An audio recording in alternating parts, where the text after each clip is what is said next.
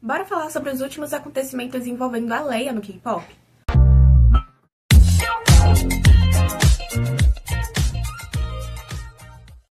Oi, amados, eu sou a Adri e esse canal é Pop onde você sabe tudo sobre o mundo do K-pop. Quem tá acompanhando nessa polêmica que aconteceu entre os dias 23 até os dias 25 sabe do que tecnicamente está acontecendo e a gente tá vendo novos desdobramentos, né? Tanto que eu postei um vídeo, acho que um dia atrás, acho que foi na segunda-feira, né, no dia 25, mas ele já tá desatualizado porque aconteceu outras coisas, foram envolvidas outras pessoas dentro dessa polêmica, esse ressurgimento de polêmica, na verdade. E claro, eu tinha que vir fazer um vídeo mais completinho pra vocês, porque aquele vídeo foi super corrido. Eu nem consegui sentar aqui pra falar com vocês. Então hoje eu irei falar sobre essa polêmica, o que tá acontecendo, quem tá envolvido, quem não tá, as falsas acusações que também estão acontecendo super. E eu vou falar tudo isso pra vocês. Mas antes, claro, de começar a contar o que está acontecendo, eu quero pedir para você que não é inscrito, inscreva-se, torne-se amado, até porque só falta você para completar essa comunidade maravilhosa aqui no YouTube. Aproveita, deixa o like se você gostou do conteúdo e comenta aí qual a sua opinião sobre isso. Vou começar, amados, falando a minha opinião sobre essa polêmica, porque na verdade não é uma polêmica nova, na verdade um ressurgimento de polêmica mesmo. E eu sei que alguns Luminas que já acompanhavam meu canal sabem que em todo vídeo que eu falo sobre as meninas, sobre a antiga formação, eu sempre deixo claro a minha opinião, porque eu não acredito que exista um lado certo, um lado errado nessa história. Eu acredito que todas as quatro garotas da antiga formação, elas erraram em conjunto e a Dear Music errou mais por não saber, de certa forma, gerenciar a, o relacionamento profissional do grupo, né, a ponto de não conseguir mantê-las com a antiga formação. Então eu não culpo nenhuma das garotas de forma individual, sim culpo elas como um grupo, porque foi exatamente isso, a imaturidade, a não o não profissionalismo delas de tentar resolver por si só. Então a culpa foram, foi de todas elas. Não tentem ah, falar, ah, você tá defendendo esse, você tá defendendo aquele, porque eu já falei em vários outros meus vídeos, vocês podem procurar aí, vocês sempre vão ver eu falando sobre isso. Mas falando um pouquinho, né, sobre o caso da Leia, como a Leia estava se portando nesses últimos tempos, a gente sabia que ela estava desaparecida do seu Instagram, das suas redes sociais, e aparecia volta e meia só pra dar um sinal de vida, porque segundo ela, desde o início do ano, ela já postava uns stories falando que ela estava sendo meio que barrada de falar com os fãs, de se comunicar pelas suas redes sociais, e logo logo ela conseguiria, de certa forma, falar a verdade, falar o que ela estava sentindo para o público. E isso todo mundo já estava associando com o fim do contrato que vai acontecer agora em 2024. Porém, mesmo assim, ela estava postando algumas fotos, né, de forma esporádica no seu Instagram. E nessa última sexta-feira, ela postou fotos novas de um evento que teve lá na Coreia para ela, que eu tinha falado no vídeo passado que foram alguns fãs coreanos que fizeram, mas na verdade as pessoas já me falaram que foi o fandom dela, os Light Lights, aqui do Brasil, que de certa forma financiaram pra ter esse eventinho lá pra ela, que era, seria uma exposição de fotos, né, de fotos dela quando ela ainda estava ativa nos palcos. E ela postou as fotozinhas, né, agradecendo, toda feliz de ter visto esse carinho que os fãs dela têm por ela ainda, que ainda se preocupam com ela. E o hate, gente, surgiu exatamente por conta disso, tá? Alguns fãs internacionais do Black Swan, que eu não posso considerar Lumina, porque realmente não pode ser considerado um Lumina, esses fãs internacionais, eles se revoltaram simplesmente porque acharam que as fotos da Larissa eram falsas, né? Como se ela própria tivesse criado o evento para que a imagem dela melhorasse, para que mostrasse que ela ainda tinha fãs. E eles se irritaram por conta disso. E então ressurgiu toda a polêmica, né? Ressurgiu todo o hate que ela estava sofrendo em massa, né? A gente sabe que mesmo depois da polêmica, de certa forma, ter sido resolvida, ela ainda estava sofrendo um hate, assim como todas as outras integrantes, porém, dessa vez voltou de forma muito dura em cima dela ela recebeu vários comentários de ódio na sua falta de Instagram que ela havia postado e também levou essa polêmica, né? Aconteceu que essa polêmica foi pro Twitter também, então acabou de certa forma criando um burburinho maior. E isso fez com que ela desativasse a sua conta do Instagram no dia 24, se não me engano, né, no sábado, por conta desse aumento de hate que ela tava sofrendo. E quando eu vi que a Larissa ela desativou seu Instagram, eu fiquei feliz até, de certa forma, porque isso preserva ela de ver comentários odiosos de pessoas que parece que não tem nada na cabeça, que parece que querem brincar realmente com a vida da outra pessoa. Porém, amados, nós tivemos um novo desdobramento falando sobre a Yo Reon. Ela apareceu novamente nessa polêmica porque os fãs brasileiros que acompanham a Larissa, né, os Lari Lights, foram atacar a Yo Reon reviver essa polêmica novamente, falando que ela que tinha sido culpada de tirar a Leia do grupo e tal.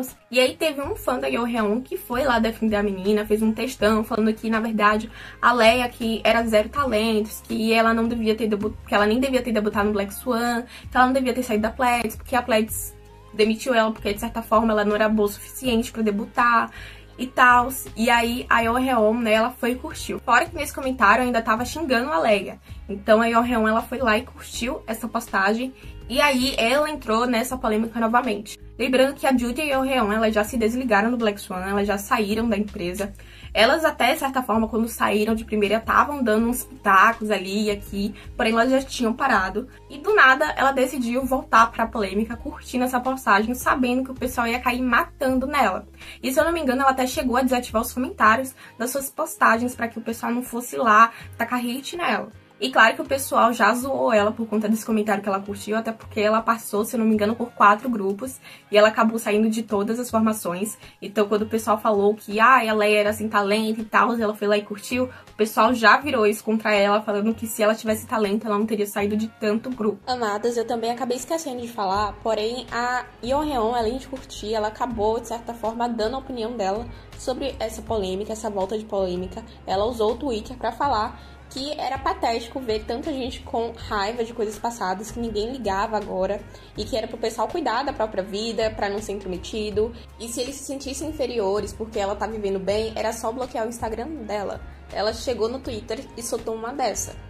Mas se vocês acham que nesse meio tempo só a Larissa estava sofrendo esse hate, vocês estão muito enganados. Porque depois dessa reviravolta, dessa volta de polêmica com a Larissa, os fãs da Larissa foram atacar o Black Swan, né? Com as integrantes que não tem nada a ver. Foram atacar a Envy, a Shiria, a Gabi. Falaram coisas absurdas sobre as garotas, falando que elas nem deveriam ter debutado, que a Gabi ela tava com inveja da Leia, que por ela ter sido a primeira idol brasileira. Só porque a Envy, a Shiria e a Gabi, elas foram ver os stories de uma das fanbases da Leia. E aí elas falaram, ai, ah, porque o hate começou depois de elas terem visto isso. Gente, eu tenho certeza que se elas fossem as mandantes do ódio contra a Leia, elas não seriam burras de entrarem com a conta pessoal delas. Isso eu tenho certeza, todo mundo é, tem esse mínimo de decência para perceber, já que os stories dá pra ver as pessoas que entram. Eu tenho certeza que elas têm o mínimo de decência de saber que se elas forem pra atacar ódio na Leia, elas não deveriam entrar pela sua conta pessoal. Então, as pessoas já criaram uma narrativa em cima de uma foto, né, de um, de um acontecimento, que foi elas ter visto, visto stories dessa fanbase, sendo que, se a gente for olhar para um lado, elas simplesmente podem ter ido ver atualizações sobre o evento que estava acontecendo da Leia, né? Realmente ver, até porque a gente sabe que a Gabi, a Shiria e a Envy, elas não passaram tempo suficiente com a Leia para de certa forma criar uma raiva dela, criar um problema com ela. Não. E a gente via que quando a Shiria e a Gabi estavam na formação com a Leia, elas super se davam bem. Então eu achei, de certa forma, algo super imenso que as pessoas quiseram, de certa forma, colocar a culpa nas meninas de toda forma. As meninas nem estavam, de certa forma, na polêmica anterior, mas as pessoas querem colocar elas como culpadas. Fora que ainda criaram provas, né? Falaram que nunca vi print nenhum. Eu procurei bastante antes de fazer o vídeo para vocês. Falando que a Envy, antes de ser é, parte do Black Swan, tinha uma conta no Twitter que tacava hate na Leia. Mas as pessoas só falavam, só falavam. A prova de que realmente a conta era da Envy. E isso só me mostra mais que as pessoas querem envolver as garotas que não tem nada a ver com essa polêmica. E amados, eu não tô aqui para defender o Black Swan, falando, ai, que elas são santinhas, isso e aquilo. Eu só tô aqui falando que as pessoas estão colocando culpa em integrantes que nem faziam parte do grupo quando a polêmica estava acontecendo. Eles querem de todas as formas colocar as meninas como culpadas. Recentemente a Gabi ela tinha curtido um, uma postagem onde tinha falado que, ah, os três anos de Black Swan, que gostaria de ter visto a, a formação antiga junto. E não tinha citado a Leia, né? Tanto que na foto tava uma montagem entre o Black Swan atual e o Black Swan anterior, sem a Leia. E aí ela foi e curtiu essa postagem. As pessoas já falaram que ela segue a conta que praticava, né, que, que acabava circulando hate contra a Leia e que ela é uma apoiadora disso. Aí outras pessoas estão falando ah, que ela curtiu uma, um, um post de uma conta que praticava hate contra a Leia. Beleza, beleza que essa conta pode ter feito, né, postagens de hate contra a Leia. Isso pode acontecer, aconteceu bastante quando a polêmica estava no auge. Porém, como é que a Gabi ia saber que esse essa conta em questão praticava hate contra a Leia. Eu acompanhei toda a polêmica que aconteceu com o Black Swan e não lembro do arroba de conta nenhuma que tá com hate em Black Swan, quanto mais defendendo as meninas. Então, como é que a Gabi, ela ia saber? Simplesmente, gente, deve ter passado lá na For dela, ela viu e curtiu, acabou. Mas as pessoas querem criar um enredo em cima disso e acabam tacando hate numa pessoa que não tem nada a ver com a história. Isso é de certa forma irritante porque as meninas elas não têm nada a ver com o hate que está sendo propagado contra a Leia. Esse está sendo o panorama atual da volta dessa polêmica, ou seja, a Leia desativou seu Instagram por conta do hate que ela estava sofrendo, simplesmente por ter postado uma foto de um evento que tinham feito para ela e o pessoal atacou ela por conta que achava que aquilo não era verdadeiro. Aí a Reon, ela entrou na briga porque o pessoal foi lá atacar hate nela e aí ela foi curtir um comentário de hate contra a Leia, o pessoal caiu em cima de novo, ela desativou os comentários das suas fotos e o hate que estava acontecendo com ela também está acontecendo com as meninas do Black Swan, estão culpando as garotas, a Shiria, a Envy e a Gabi estão propagando hate por uma história que nem aconteceu, porque as meninas elas não têm nada a ver com a polêmica que aconteceu com a antiga formação. E o pessoal tá tentando de toda forma colocar a culpa nas meninas. Então, o melhor se fazer agora é se abster dessa polêmica, porque quanto mais alimentada, mais ela aumenta. A gente sabe que o o público internacional eles não vão parar porque eles são assim, eles são sim elites. Então, o que o público brasileiro pode fazer é se aquietar um pouquinho, parar um pouquinho mesmo, porque isso só vai afetar a saúde mental da Leia e a saúde mental das garotas do Black Swan, principalmente da Gabi, já que ela tá recebendo todo o hate praticamente do Black Swan. E falando, Amado, sobre o tempo que resta da Larissa dentro da Dream Music, o contrato dela vai acabar agora em 2024. Muitas fanbases falam que vão acabar no mês de maio, mas a gente não tem certeza da empresa. Mas finalmente o ano de 2024, o ano que a Larissa vai sair da empresa, chegou. Então a gente pode esperar um pouquinho até ela realmente se restabelecer e votar as redes sociais para contar o lado dela, para falar os planos futuros delas, se vai continuar no K-pop, se vai voltar pro Brasil, o que é que ela vai fazer da vida, porque eu sei que vários Larilites, vários fãs da Leia, vários Luminers que ainda acompanham a Leia estão super ansiosos para saber qual vai ser o próximo passo dela, até porque ela só tem 22 anos.